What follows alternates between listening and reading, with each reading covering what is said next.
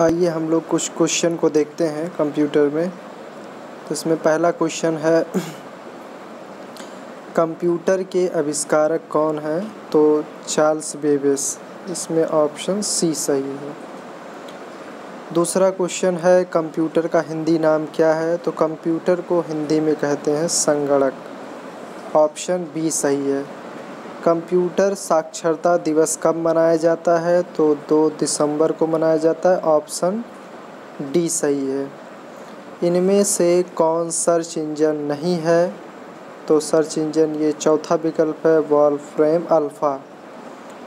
निम्न में कौन इनपुट इकाई है? तो ये सभी इनपुट इकाई हैं। Mouse, keyboard, scanner. एक किलो बाइट कितने बाइट के बराबर होता है?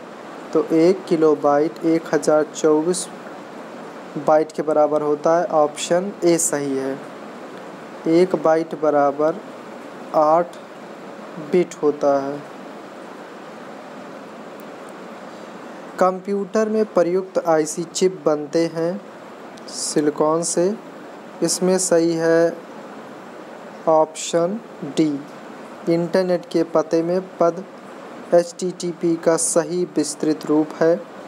तो इसमें सही है hypertext transfer protocol option D सही है।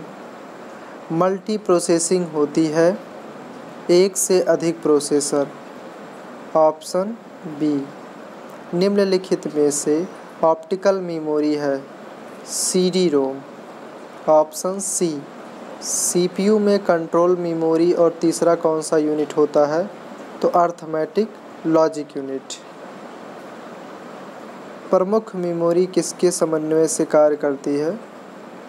तो इसमें सीपीयू के। ऑप्शन डी, कंप्यूटर द्वारा प्रोड्यूस किया गया परिमाण है, आउटपुट होता है, जो कंप्यूटर के द्वारा प्राप्त होता है, इनपुट होता है, जो कंप्यूटर को निर्देश दिया जाता है, जिसमें कीबोर्ड, माउस ये सब अहम भूमिका निभाता है और आपको प्राप्त होने वाला डेटा मॉनिटर, प्रिंटर, प्लॉटर और प्रोजेक्टर के द्वारा प्राप्त किया जाता है, जिसमें मॉनिटर आपको सॉफ्ट कॉपी, प्रिंटर आपको हार्ड कॉपी देता है। प्रोसेस्ड डेटा को कहते हैं प्रोसेस ऑप्शन बी। इनपुट का आउटपुट में रूपांतरण किया जाता है सीपीयू के द्वारा। सीपीयू का मुख्य घटक है। तो इसमें ये सभी ऑप्शन डी है। कंप्यूटर की क्षमता जो है सीमित होती है। कंप्यूटर को किस प्रकार की बुद्धि की संज्ञा दी गई है? कृत्रिम ऑप्शन बी है। ईडीपी का क्या फुल फॉर्म होता है? तो इसे आप इलेक्ट्रॉनिक डेटा प्रोसेसिंग कहते हैं। कंप्यूटर में जाने वाले डेटा को क्या कहते हैं? इनपुट कहते हैं। एटीएम क्या होता है? तो ऑटोमेटेड टेलर मशीन ये बिना स्टाफ के नकदी देना। ऑप्शन ए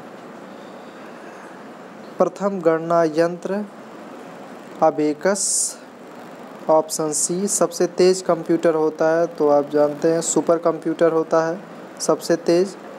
और सबसे धीमा कंप्यूटर, माइक्रो कंप्यूटर होता है, जो कि साइज़ में भी छोटा होता है। माइक्रो प्रोसेसर किस पीढ़ी का कंप्यूटर है? चतुर्थ पीढ़ी का। भारत में निर्मित प्रथम कंप्यूटर किस प्रकार का कंप्यूटर है? परम, सॉरी। भारत में निर्मित परम कंप्यूटर किस प्रकार का कंप्यूटर है? तो ये एक सुपर कंप्यूटर है।